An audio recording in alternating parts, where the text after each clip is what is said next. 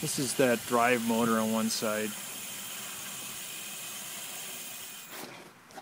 There's one way. There's the other way. It has a creep speed here. Okay.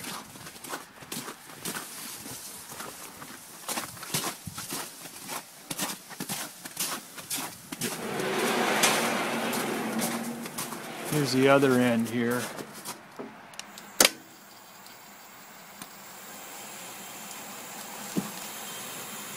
This is quieter.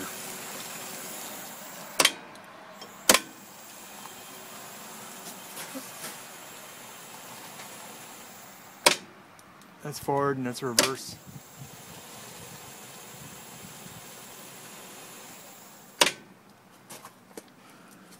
Some reason it's sensing that there's too much there's too much weight on the hoist. So it won't lift.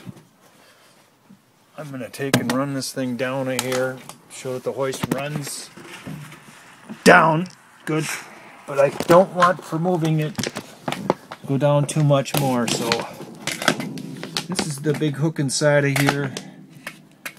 And uh, it clunks for some reason but doesn't go up